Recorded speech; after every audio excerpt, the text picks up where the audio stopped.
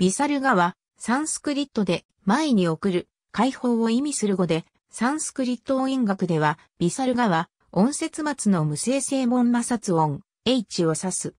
デイバナーガリーではのように文字の後ろにコロンに似た記号を付加することでビサルガを表す。疾患学ではこの記号をネハンテンと呼ぶ。ビサルガは母音の後、語末、または無声子音の前にのみ出現し、音節末の R 及び S が語末で変化した形である。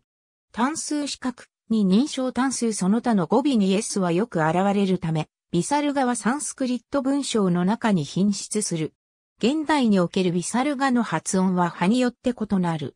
青、H、よ、E のように前の母音をビサルガの後にわずかに響かせることもある。ビサルガは後続の子音によって複雑な連音変化を起こす。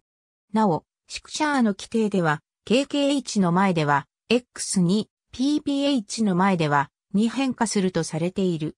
前者を、G ハベマリア、後者を、アパドマニアと称する。デーバナーガリーではそれぞれの後ろに、X のような記号をつけて表す。